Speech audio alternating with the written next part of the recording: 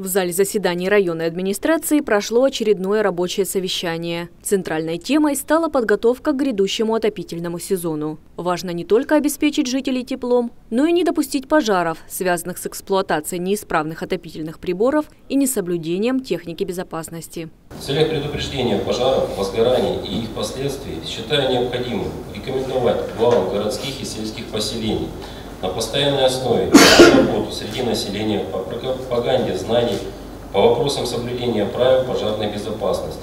О проделанной работе отчитались представители теплоснабжающих организаций. Все подготовительные работы, такие как ремонт и промывка котлов, ревизия оборудования, близятся к завершению. Глава района Андрей Дорошевский подчеркнул, что к 1 октября все отопительные объекты должны быть готовы к холодам на 100%.